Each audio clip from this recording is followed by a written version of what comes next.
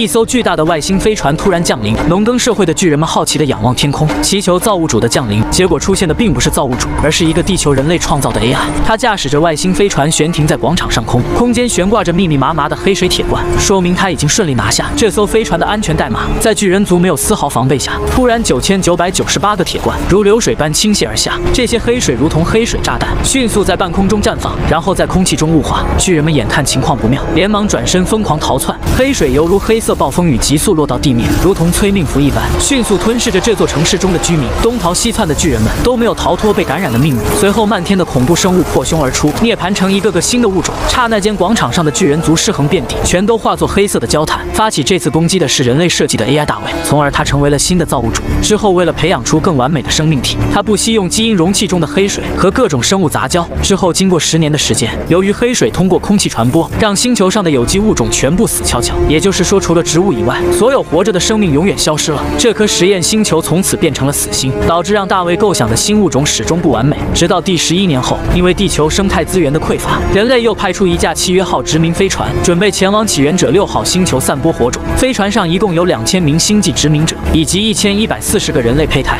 由于到达目的地需要七年零四个月，另外还有十五名夫妻船员在休眠舱休眠。在此期间，负责操控飞船的是维兰德工业第二代仿生人沃特。与大卫不同的是，沃特被移除了自我创造的意识，更适用于人类掌控。这天，沃特像往常一样在飞船航行中打开契约号充能翻板，给能量网络充能。Sales deployed. Recharge commencing now. 如此精彩的充能画面，要是不出意外的话，意外即将来临。就在他检查所有船员的生命体征时，突然间，人工智能母亲传来了警报：附近区域有一股恒星级耀斑爆发、微子能量产生的高能冲击波，不仅波及到了充能翻板，也让契约号遭受了强烈的震荡，甚至已经危及到了飞船本体。紧急情况下，沃特只好紧急命令人工智能唤醒其他休眠的船员，而飞船控制室此时也已经燃起了大火。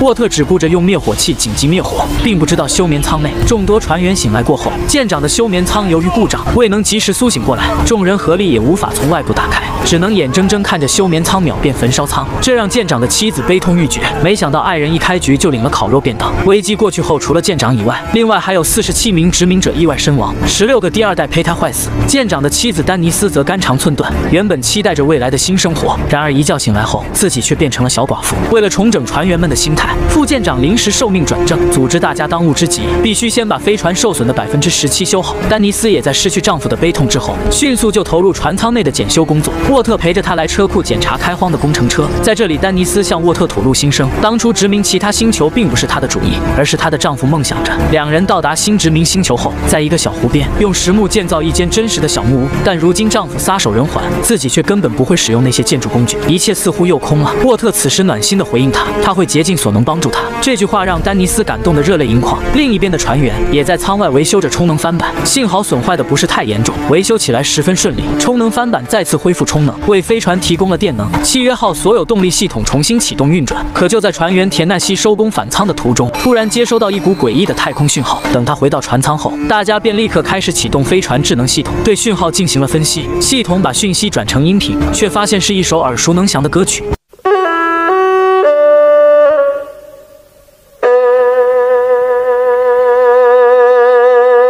这个重大发现意味着附近区域有人类存在的迹象，而且信号中还包含一个定位数据。于是他们便立刻开始追踪讯号来源，结果就来自于他们飞船下方不远处的星系。这是一颗年代久远的古老恒星，该星系的环境与太阳系相似，共有五颗行星围绕着恒星运行。其中第四行星的环境与地球最相似，其地表重力和地球相等，地表有海洋和陆地，生态圈比起源者六号行星更适合人类居住，而且只需要几周的时间便可以抵达。而他们抵达起源六号还需七年零四个月。对于刚经历过休眠舱着火事件后，众人都对休眠舱产生心理阴影，谁也不想再继续休眠。所以舰长决定契约号改变原有轨道，前往未知星球一探究竟，说不定还能遇到地球老乡。这时，丹尼斯把舰长叫到一边，他劝舰长三思而后行，因为起源者六号是人类经过十年探索发现的殖民地最安全的星球。为什么探索十年都没有扫描到这颗星球？而契约号来到这里后，恰好恒星耀斑爆发，又诡异接收到不明信号，现在又突然冒出一颗隐秘的星球，特别适合我们人类居。虚竹。巧合的实在让人难以置信，所以不能因为一个莫名的讯号就带着所有人去冒险。可舰长为人刚愎自用，他认为丹尼斯提出这些是在质疑他的领导能力。更关键的是，他没有办法说服船员重新休眠，便驳回丹尼斯的建议，两人不欢而散。契约号继续前往最近的这颗星球。几周过后，契约号接近了这颗星球的轨道上。这颗星球比地球更美丽。从远处看，整个星球被笼罩在密集的电磁风暴中。如果母舰直接降落到星球上，可能会出现意外。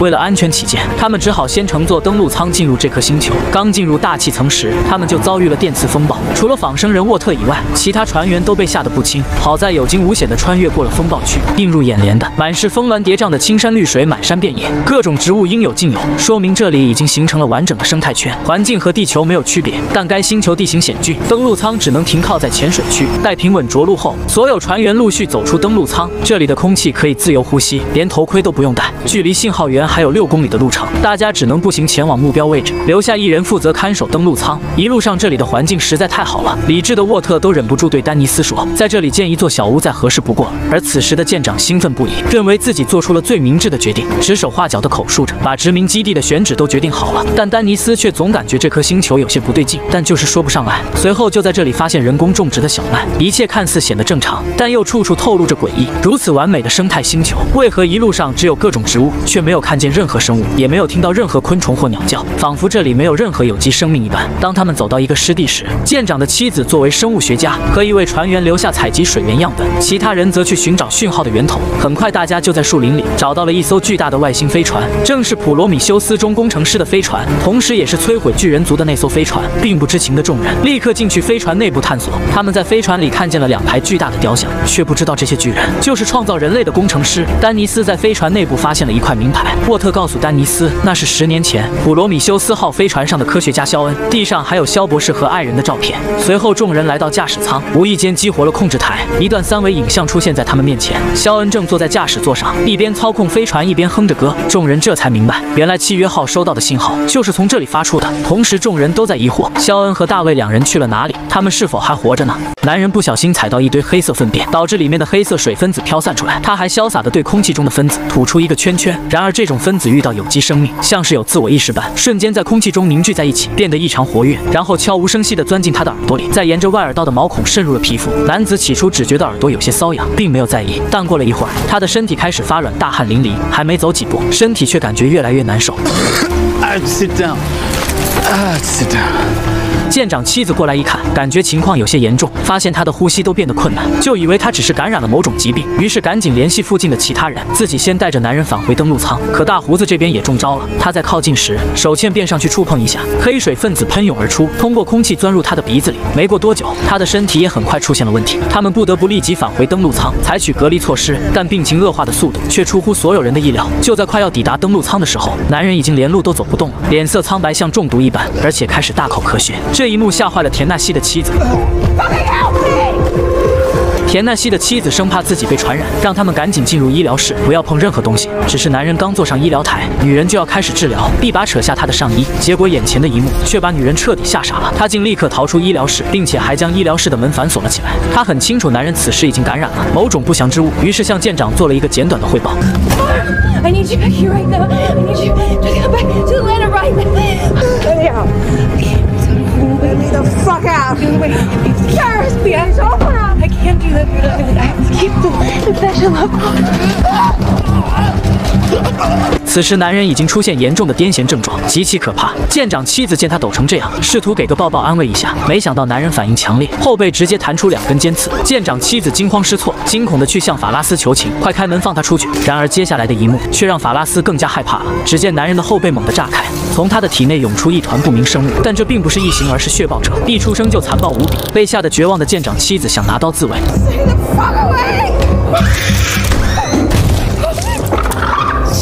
但面对残暴且灵活的血暴者，女人完全不是对手，很快就歇菜了。惊魂未定的法拉斯端起一把武器冲过来，准备与怪物拼个你死我活。但高度的紧张和复杂的情绪让他不小心滑倒在地上，吓得他一刻也不敢停留，连滚带爬又逃了出去，并在最后时刻成功关上了舱门。但血暴者天生就暴脾气，一头撞碎玻璃冲了出来。法拉斯再次端起武器，对着怪物疯狂反击。仔细一看，血暴者的身体短短几分钟明显变大了许多，而且他的速度极其灵活，轻松就能躲过所有子弹，这也彻底激怒了女。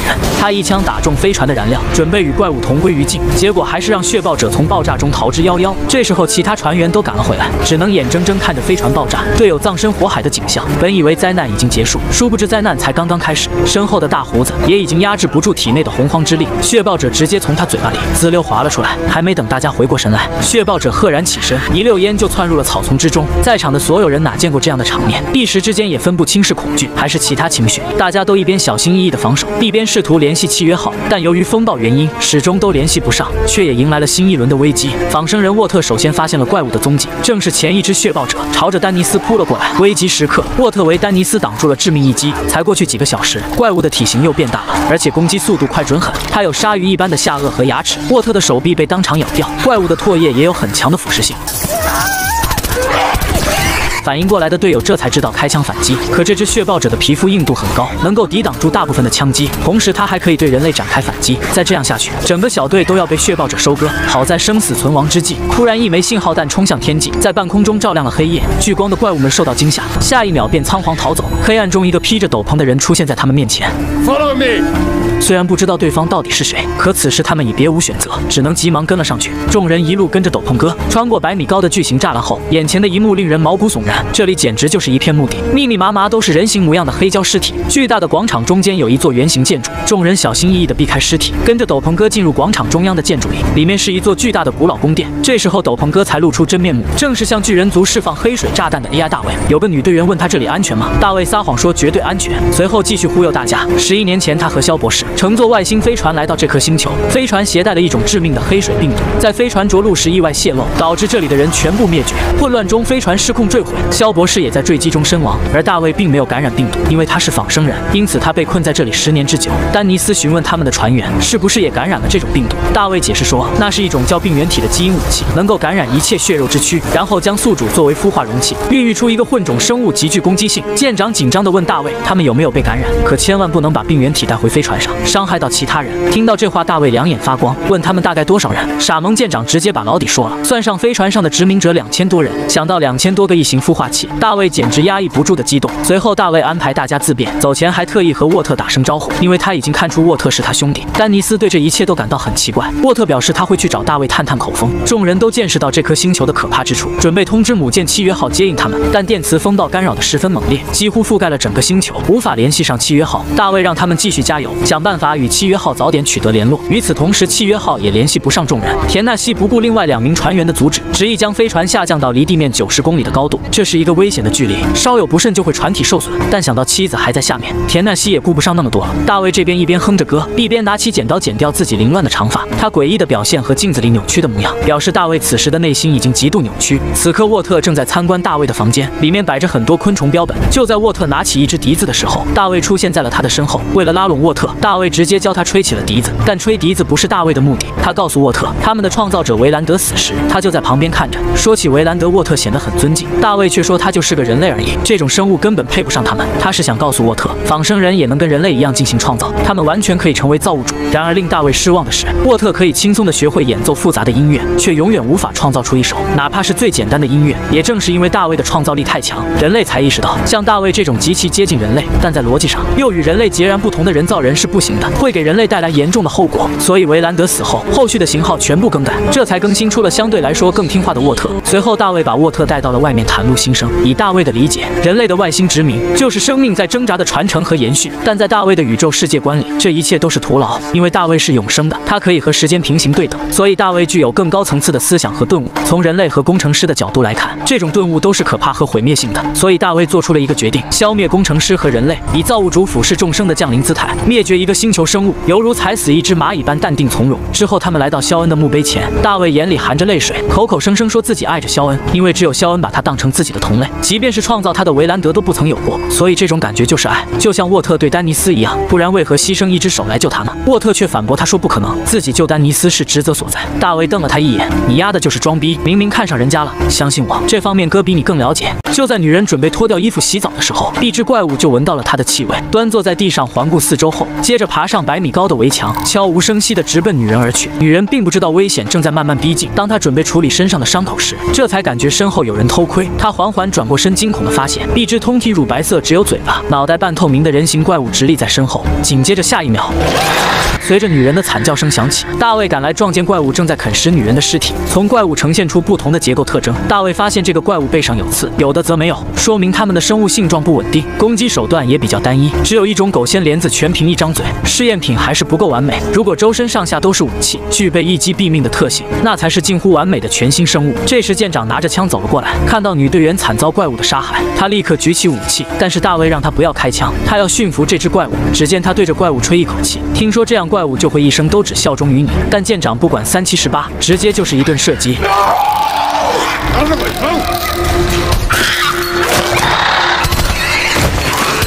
在不断近距离扫射后，怪物扛不住，当场领了盒饭。而大卫的反应却是痛惜万分。这种反常的表现让舰长起了疑心，便拿枪指着大卫，逼问他是不是隐瞒了什么秘密。大卫知道瞒不下去了，就带着舰长来到了自己的实验室。这里储存了很多黑水病毒，显然在这十年里，他一直在用黑水研究异形。这些都是通过黑水和动物、昆虫演化的异形标本。之所以作为标本，说明实验并不是很成功。他表示做这些只是为了追寻宇宙生命的地境。随后带着舰长来到一处漆黑的地下室，这里放置了许多巨型卵囊，外观材质看起来有点像皮革。大卫说这是他对生命研究的最终成果，里面孕育的却是恐怖的抱脸虫。只是船长并不认识。大卫继续忽悠说他们在等待自己的母亲，并保证绝对的安全。傻帽舰长便好奇的用手摸了一下，皮革自动张开，呈现出四瓣状结构。在大卫的蛊惑下，舰长靠近一些观察，结果下一秒抱脸虫瞬间弹射而出，直接吸附在舰长的脸上，随即将异形卵排进了舰长的身体里，开始了新物种的孵化。而大卫就在一边默默的欣赏着，因为他知道宇宇宙中。最完美的新生物即将诞生。果然，在舰长再次醒来之后，一只崭新的异形幼体喷射而出。这一刻，正宗的异形成功诞生。大卫露出欣慰的表情，情不自禁地举起了双手。小异形也很可爱地模仿着大卫的动作，似乎在庆祝他完成了梦想，成为了新的造物主。这时，契约号降到九十公里的高空后，终于联系上了地面的船员们。由于出现了人员伤亡，丹尼斯要求立即撤离。田内西着急救老婆，毫不犹豫就把飞船下降到四十公里的高空。智能 AI 立刻发出警告，这会危及整艘殖民舰。的安全。见此情形，丹尼斯说出他妻子已经遇难的消息。田纳西得知后，心里瞬间凉了一大截。等田纳西恢复好情绪后，开始紧急救援工作。因为之前的登陆舱已经爆炸，最后决定驾驶改装太空作业用的货运船下去接人。与此同时，沃特前来寻找大卫，无意中看到了肖博士的尸体。原来肖博士并不是坠机身亡，而是成为了大卫基因实验的牺牲品。在沃特的追问下，大卫终于承认了自己的所作所为，他就是故意泄露黑水病毒，并利用肖博士培育异形。结果异形实验把整个个星球的有机生命全部糟蹋光了，而他自己也因为各种原因没办法离开这个星球，所以只能发出人类熟知的虚假信号，吸引殖民飞船到自己的老巢。因为孵化异形只能用人类的身体孕育，才能创造出强大的新物种来称霸宇宙，成为造物主。本来大卫想要说服沃特，让他加入自己的造物计划，但沃特从出场的那一刻起就被设定成不能违背人类的指令。看他对人类太过忠诚，还要阻止自己的计划，已经无法成为自己创世的伙伴。大卫对他非常失望，索性将一根管子插到他的颈部死穴让沃特当场。死机，但他不知道的是，沃特作为最新一代仿生人，具有自动重启的功能。除了缺乏创造意识之外，其他功能都比大卫先进。另一边，小队计划撤离，并开始寻找其他船员。很快就找到了死去的女队员和脚下的一具怪物尸体，吓得他们立刻收拾装备。这时才发现舰长也不见了踪影，大家也开始意识到了不对劲。几人分头去寻找。一个船员在地下室发现被打开的巨型卵囊，黑暗中突然窜出一只抱脸虫，迅速袭击了他。